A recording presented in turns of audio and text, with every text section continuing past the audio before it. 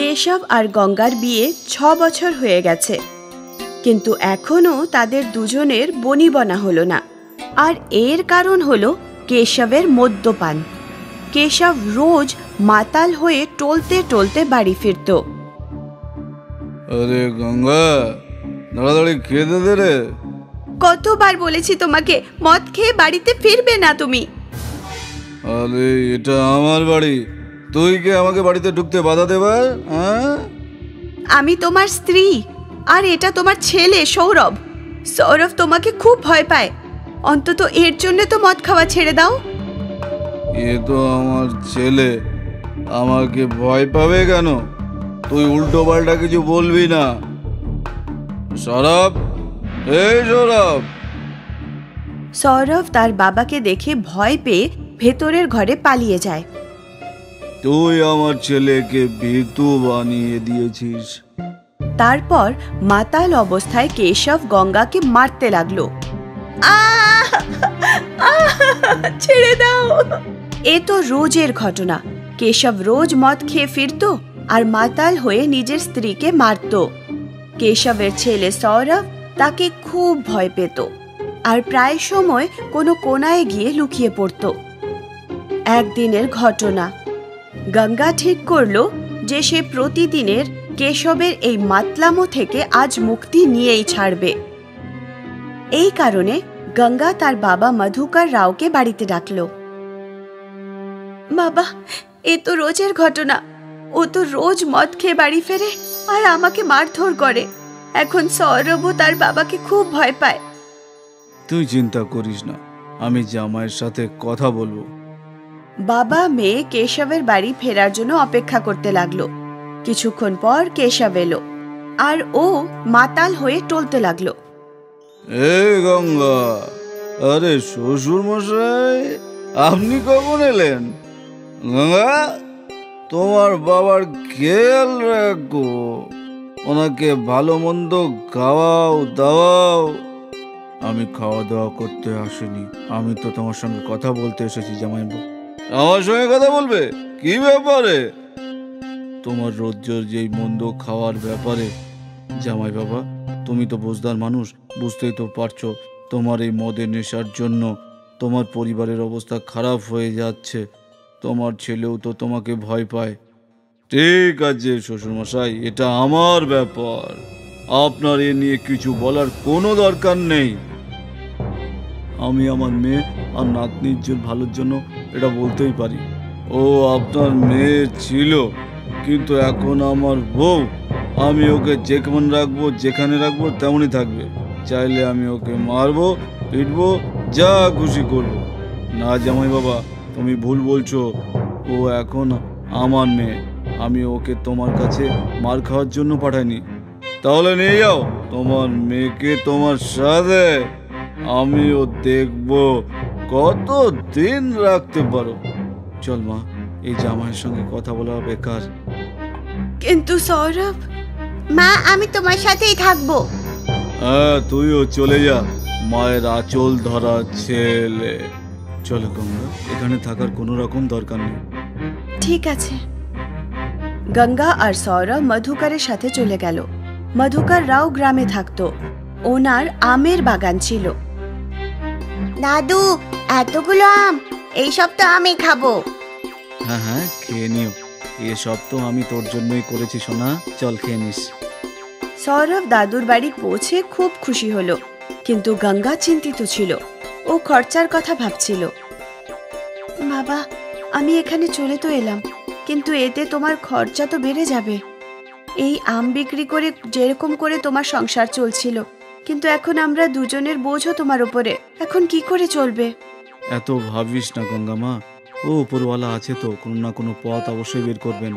আমি খুশি যে তোকে ওই মাতালের সাথে আর থাকতে হচ্ছে না। ভগবান সব ঠিক করে দেবেন। ঠিক আছে। গঙ্গা ঘরের সব কাজ সামলে নিল। এখন মধুকর রাও তার পুরো সময় আম বাগানেই থাকতো আর নাতির সঙ্গে গল্প করত। দাদু ওই গাছটা তুমি কবে লাগিয়েছো? ওই গাছটা যখন তোর মা তোর বয়সে ছিল তখন। বাপ রে আর ওই সব থেকে বড় গাছটা? ওটা আমি লাগাইনি ওটা আমার বাবা লাগিয়েছিল আমারও জন্মের আগে। মানে ওটা তোমার থেকেও বড়? হ্যাঁ। তখনই গঙ্গা সবার জন্য চা আর জল খাবার নিয়ে এলো। এবার অনেক হয়েছে তোমাদের এবার জল খাবারটা খেয়ে নাও। আরে গঙ্গা কতদিন হয়ে গেছে? তোর হাতে সুস্বাদু চাটনি খায়নি দেখ আমও কাঁচা। চাটনি পেলে খুব ভালো লাগতো। ঠিক আছে বাবা আজ বানাবো। সন্ধেবেলায় নিয়ে আসব। আরে বাহ! মধুকর আর সৌরভ চা জল খাবার খেতে লাগল। গঙ্গা মশলা দিয়ে আমের চাটনি বানাতে শুরু করে দিল। কিছুক্ষণের মধ্যেই ওর চাটনি তৈরি হয়ে গেল। এখন চাটনি তৈরি। গঙ্গা চাটনি নিয়ে বাগানে ফিরল। ওখানে মধুকরের দুজন বন্ধুও ছিল। বাবা চাটনি তৈরি হয়ে গেছে। আরে বাহ এদের দুজনকেও দাও। ঠিক আছে বাবা। গঙ্গা দুটো আম কাটলো আর তার উপর চাটনি লাগিয়ে দিল আর সবাইকে দিল। সবাই কাঁচা আমের স্বাদ পেতেই আরে বাহ এটা তো খুবই ভালো খুব মশলাদার। আমি বলেছিলাম না যে আমার গঙ্গা খুব ভালো কাঁচা আমের চাটনি বানায়? হ্যাঁ ভাই যদি এই কাঁচা আমের চাটনি বানানো শুরু করে দেয় তাহলে সব আম শেষ হয়ে যাবে। সব লোকেরা এটা খুব ভালোবাসবে। হ্যাঁ হ্যাঁ একদম। এই কথা শুনে গঙ্গা চিন্তা করতে লাগল। এমনিতেও আমি খরচার কথা ভাবছিলাম। এখন যদি কাঁচা আম বিক্রি করি তাহলে খরচার চিন্তা তো মিটেই যাবে। কি হলো গঙ্গা? বাবা আমি ভাবছিলাম যে কাকা যেমন বললেন কাঁচা আমের ব্যবসা খুলেনি। অন্তত কিছু রোজগার তো হবে। ওর আইডিয়া তো মন্দ নয়। আমিও তোর সাথেই থাকব। আর পরের দিন থেকেই গঙ্গা বাজারে কাঁচা আমের ঠেলা লাগালো। ওর ঠেলায় কাঁচা আম দেখে এই কাঁচা আমগুলো কত করে? পনেরো টাকা প্লেট আমাকে এক প্লেট দাও। গঙ্গা ওই মহিলাকে এক প্লেট কাঁচা আম দিল আর পনেরো টাকা নিয়ে নিল। বাহ, এত সুস্বাদু কাঁচা আম আমি আগে কখনো খাইনি। এরপর সমস্ত খরিদ্দাররা গঙ্গার কাঁচা আমের সুখ্যাতি করতে লাগল। প্রথম দিনই গঙ্গার কাঁচা আম বিখ্যাত হয়ে গেল। বিকেলের মধ্যেই সব আম শেষ হয়ে গেল। গঙ্গা নিজের ঠেলা বন্ধ করল আর তার প্রথম রোজগারে সে খুব খুশি হয়ে গেল। ও আনন্দে ঘরে ফিরল। কীরকম ছিল আজকের দিনটা? খুব ভালো। বাবা সব লোকেদের আমার কাঁচা আম খুব ভালো লেগেছে। কত লোকেরা আমার সুখ্যাতি করল। আর তার উপর এই দেখো আজকের রোজগার। বাহ আমি জানতাম তুই পারবি।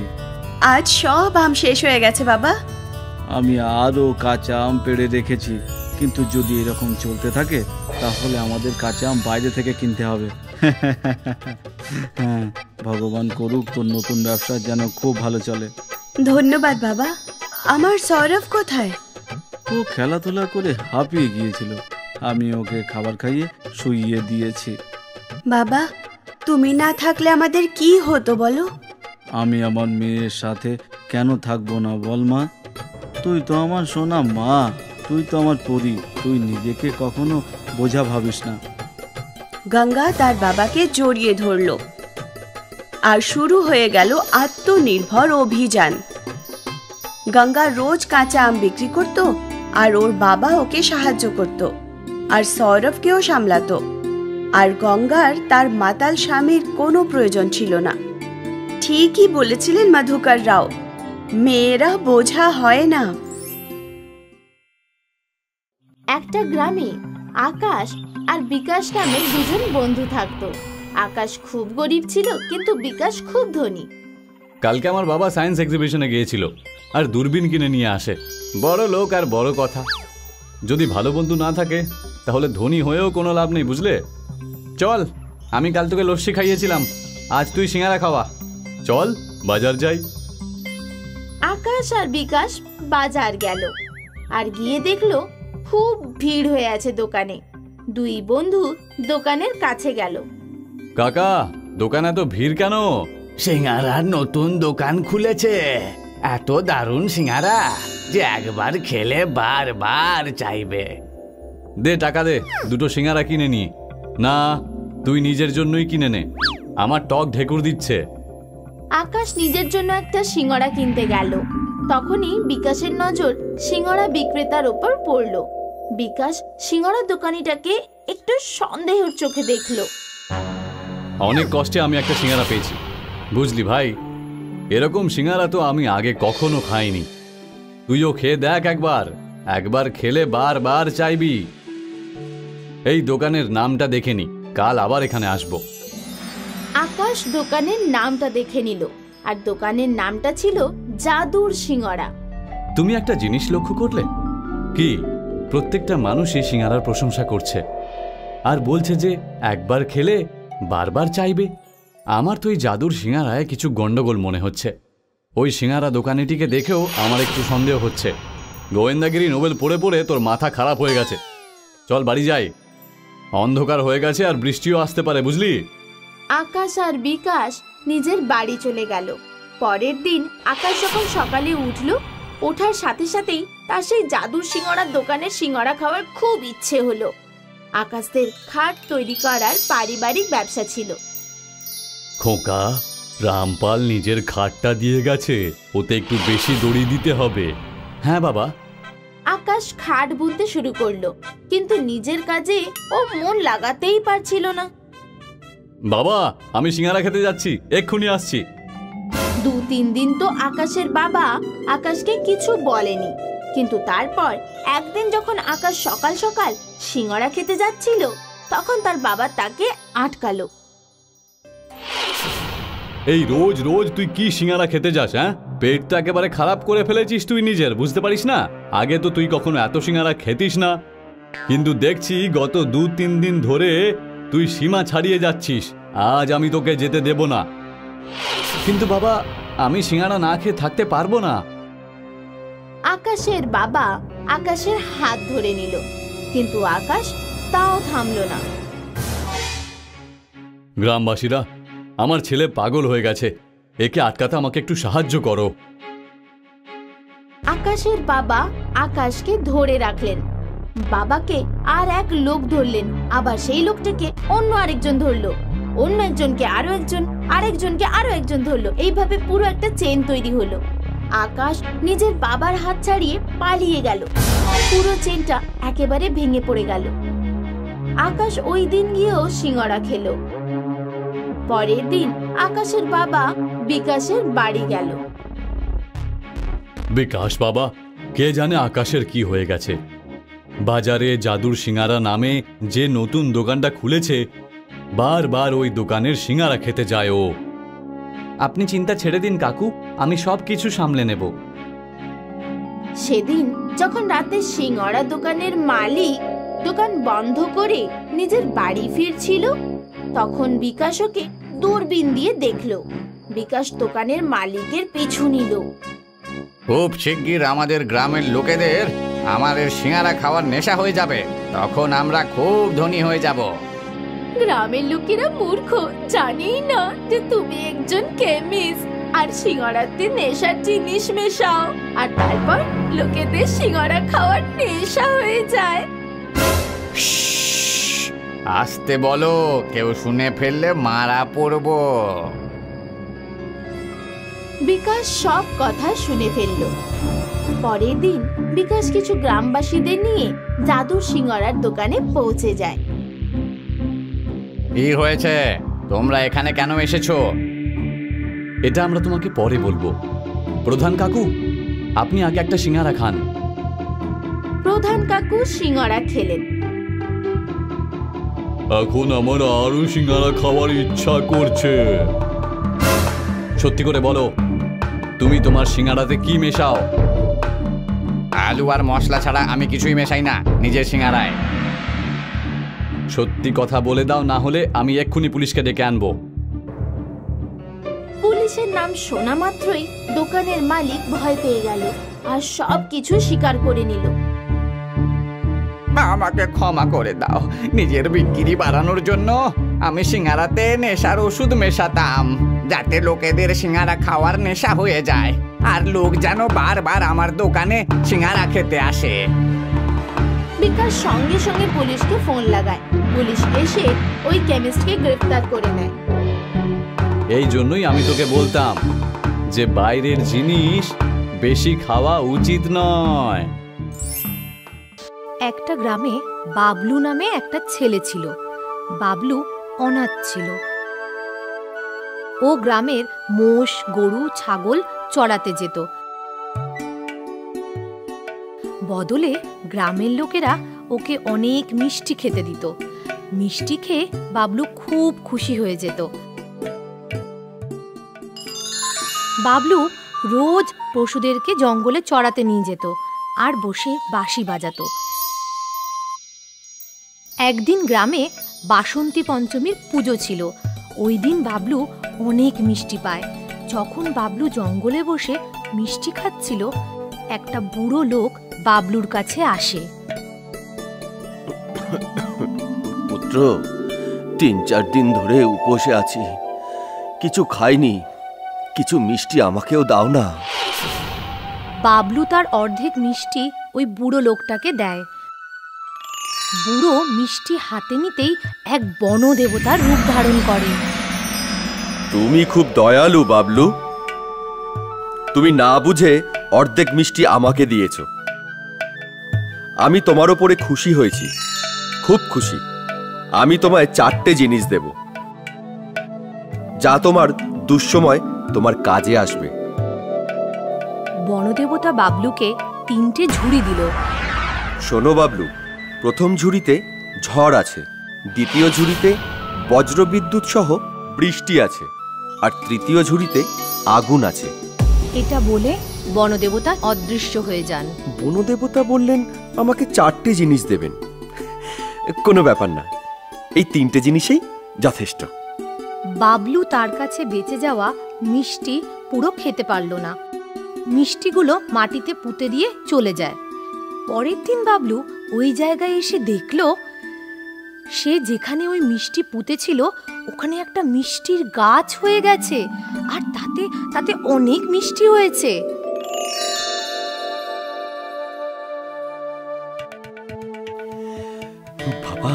মিষ্টির গাছ? মনে হচ্ছে বনদেবতার চতুর্থ বর এটা।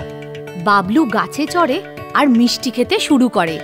ওই সময় জঙ্গলে এক বুড়ি রাক্ষসী যাচ্ছিল। সে বাবলুকে দেখতে পায়।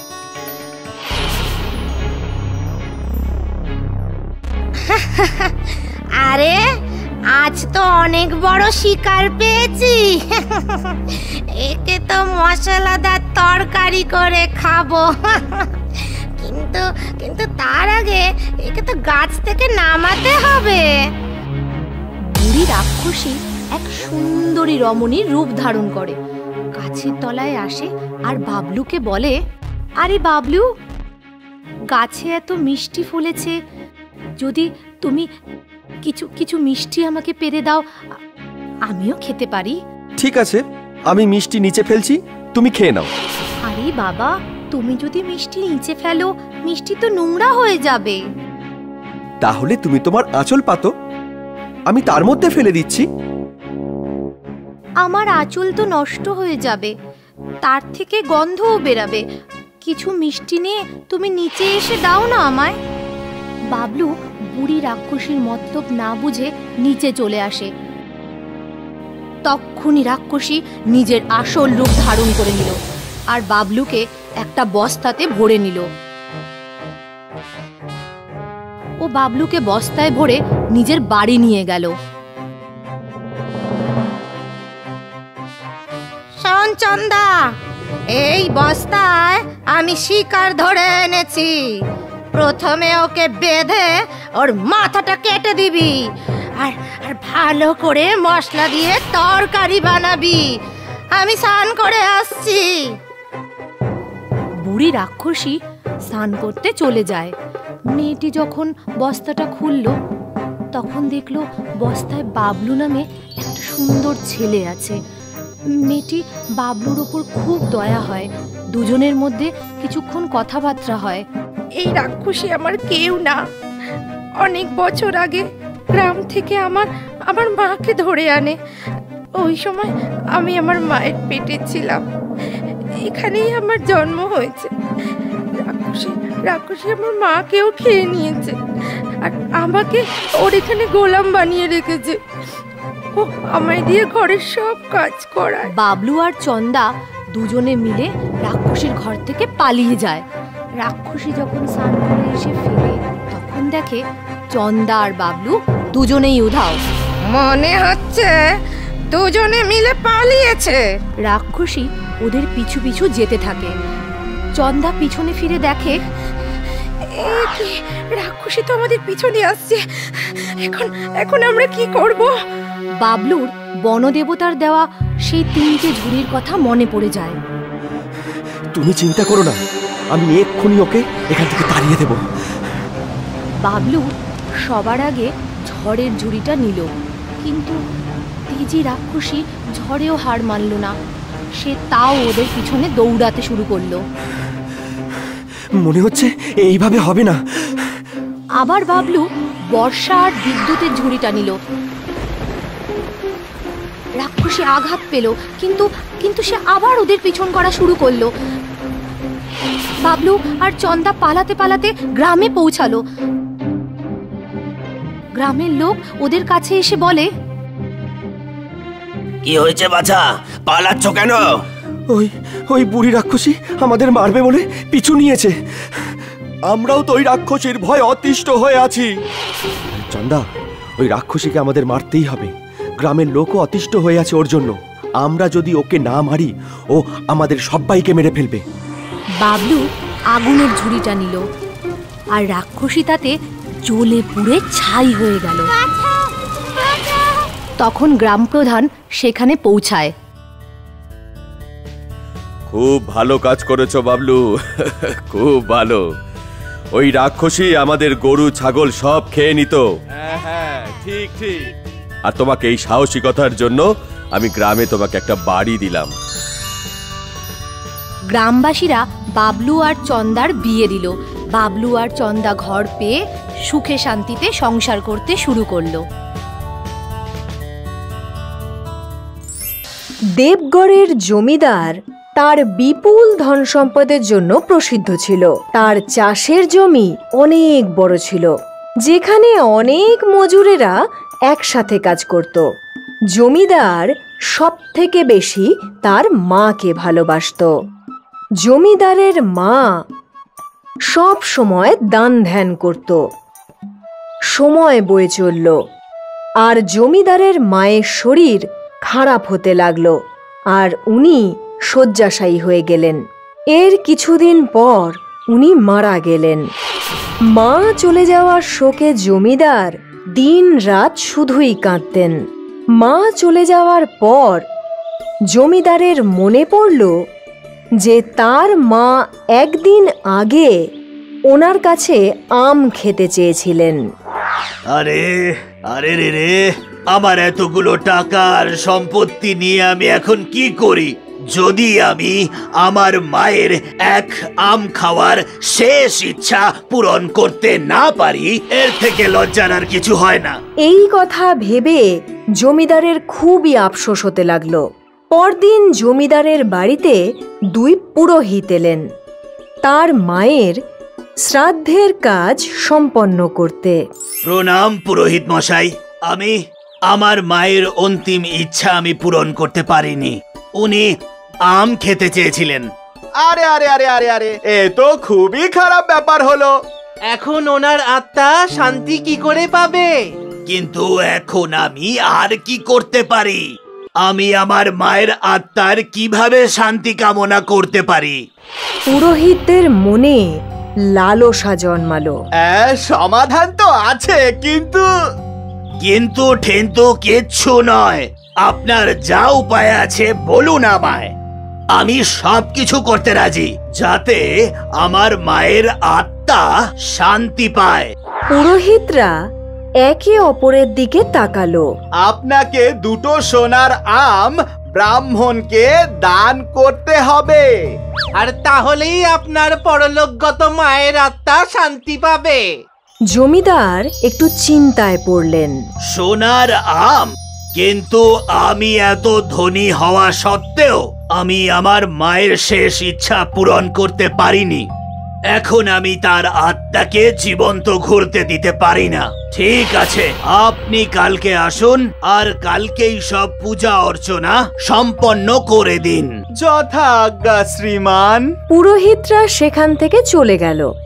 আর পরদিন আবার ফিরে এলো। আজ জমিদারের বাড়িতে বেশ কিছু লোক এসেছিল যাদের মধ্যে ভেঙ্কট স্বামীও ছিলেন। আসুন আসুন পুরোহিত মশাই আমি সোনার আমের ব্যবস্থা করে ফেলেছি। ঠিক আছে শ্রীমান আমরা পুজো তাহলে শুরু করি। দুই পুরোহিত শ্রাদ্ধের কাজ শুরু করল আর শ্রাদ্ধের কাজ শেষ হওয়ার পর জমিদার সেই দুই ব্রাহ্মণকে এক একটা করে সোনার আম দান করল। এই দেখে ভেঙ্কট স্বামী অবাক হলেন। সমস্ত অতিথিরা চলে যাওয়ার পর ভেঙ্কট স্বামী জমিদারের কাছে গেল। জমিদার মশাই, আপনি যে ব্রাহ্মণদের সোনার আম দান করে দিলেন, ব্যাপারটা ঠিক বুঝতে পারলাম না। আমার মায়ের শেষ ইচ্ছা ছিল যে উনি আম খাবেন, কিন্তু আমি তার ইচ্ছা পূর্ণ করতে পারিনি। তাই ওনার আত্মার শান্তি কামনার জন্য আমায় সেই জন্যে পুরোহিত মশাই সোনার আম দান করার উপায় বলেছিল। ব্রাহ্মণরা যে জমিদারকে বোকা বানালেন ভেঙ্কট স্বামী তা বুঝে গেলেন, আর উনি তাদের শিক্ষা দেবেন, ঠিক করে নিলেন। পরদিন ভেঙ্কট স্বামী ব্রাহ্মণদের তার বাড়িতে ডাকলেন। স্বাগতম স্বাগতম। ইনি হলেন আমার মা। উনি ছ মাস আগেই দেহত্যাগ করেছেন কিন্তু ওনার একটা ইচ্ছে অসম্পূর্ণ রয়ে গেছিল। কেমন ইচ্ছা? কিন্তু একটা কথা বলুন, যেভাবে জমিদার বাবুর মায়ের আম খাওয়ার শেষ ইচ্ছা অসম্পূর্ণ ছিল, আর আপনারা সোনার আম দান স্বরূপ গ্রহণ করে ওনার আত্মার শান্তির উপায় বের করেছিলেন, তাহলে কি আপনারা আমার মায়ের আত্মাকেও শান্তি পাইয়ে দিতে পারবেন? হ্যাঁ অবশ্যই। কিন্তু ওনার শেষ ইচ্ছা কি ছিল? ওনার ইচ্ছা ছিল যে আমি ওনার মাথাতে জোরে লাঠি দিয়ে মারি। আর তারপর ভেঙ্কট স্বামী লাঠি বের করলেন। ব্রাহ্মণরা এই দেখে ভয় পেয়ে গেল আর পালাতে শুরু করল। ভেঙ্কট স্বামীও ব্রাহ্মণদের পিছনে দৌড়তে লাগল। আর তারা দৌড়তে দৌড়তে জমিদারের বাড়িতে উপস্থিত হলো। সেখানে গিয়ে দুই পুরোহিত জমিদারের পা জড়িয়ে ধরলো। প্রধান মশাই আমাদেরকে ক্ষমা করে দিন। ক্ষমা ক্ষমা আমরা ভুল করে ফেলেছি। আমরা লোভের বসে পড়ে আপনার কাছে সোনার আম চেয়েছিলাম। আমাদেরকে ক্ষমা করে দিন। ভবিষ্যতে আমরা আর এ ধরনের ভুল কখনো করব না। পুরোহিতরা জমিদারের কাছে ক্ষমা চাইল। আর ভেঙ্কার স্বামী খুশি হলেন যে উনি লোভী পুরোহিতদের উচিত শিক্ষা দিতে পেরেছেন। এই গল্প থেকে আমরা এই শিক্ষা পাই যে আমাদের অন্ধ বিশ্বাসের ওপর বিশ্বাস করা উচিত নয়। নয়তো যেভাবে এই লোভী পুরোহিতেরা জমিদারকে ঠকিয়েছিল, সেইভাবে যে কেউ আমাদেরকেও ঠকাতে